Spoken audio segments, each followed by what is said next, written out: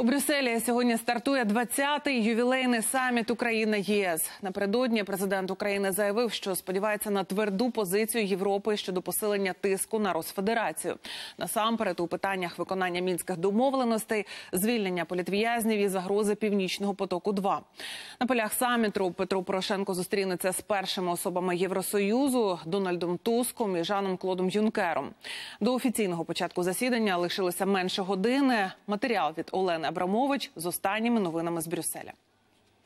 Цьогорічний саміт уже 20-й, ювілейний. І на відміну від попереднього, який торік завершився в Києві без підписання декларації, цього разу сторони ретельно узгоджували підсумковий документ. Наприклад, пункт про необхідність розташувати миротворчу місію на Донбасі через заперечення однієї з країн ЄС із декларації вилучили.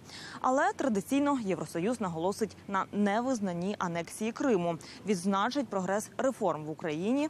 І саме аби звірити годинники, тобто проаналізувати, чи виконані обіцянки обох сторін і відбуваються такі саміти.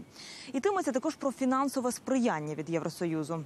Правда, очікуваного меморандуму про надання Україні мільярда євро макрофінансової допомоги не підпишуть. У Єврораді пояснили, потрібні ще кілька тижнів праці, аби перейти до конкретніших перемовин щодо надання цих грошей. Про інші угоди стане відомо за підсумками саміту сьогодні, після 16-ї, за Києвом.